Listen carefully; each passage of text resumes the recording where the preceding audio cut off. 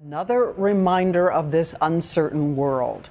There is a worldwide alert that Al Qaeda is looking for a moment to strike. Today, the State Department issuing an alert warning Americans overseas that a plot is underway.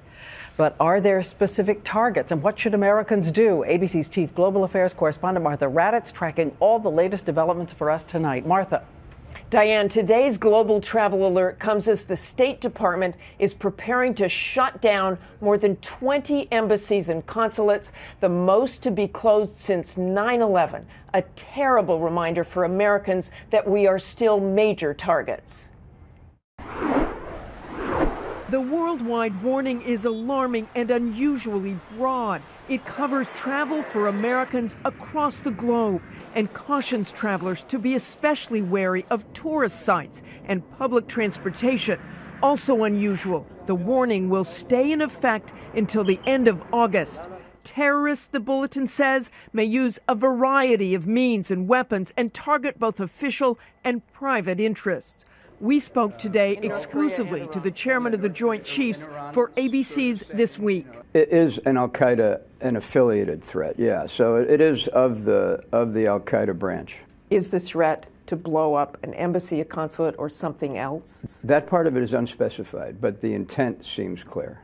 And the intent is to what? The intent is to attack uh, Western, not just U.S. interests. A senior U.S. official telling ABC News that this is an active plot coming from Yemen, where the so called underwear bomber got his training and where radical American cleric Anwar al Awlaki directed terrorist attacks until he was killed in a drone strike two years ago. But there is a new boss now, Nasser al Wahashi, now the coordinator of worldwide attack planning. Intelligence showed this latest plot could involve multiple targets both inside and outside Yemen. Thus, the long list of embassy closures across the Muslim world. This after billions of dollars in security measures that can stop a truck and protect from blast. Today's warnings clearly fall out from the deadly attack on the mission in Benghazi. Since then, 151 new diplomatic security positions have been approved, 1,000 additional Marines for embassy security, although not yet in place, and more than 500 Marines and soldiers now part of a quick reaction force to respond to attacks in Africa.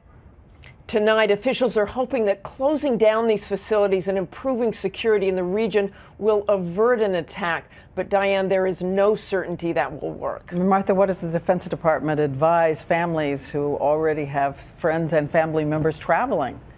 Well, I think, frankly, you just have to be extra vigilant in public, steer clear of local events like demonstrations. And there's also something called Smart Traveler Enrollment, where you sign up to get emails and texts about security advisories. There's actually an app you can get for your smartphone. Advising you of additional details as they develop, right? Exactly what it does. All right, Martha Raddatz, who will be standing sentry on all of this for us throughout this night. Thank you, Martha.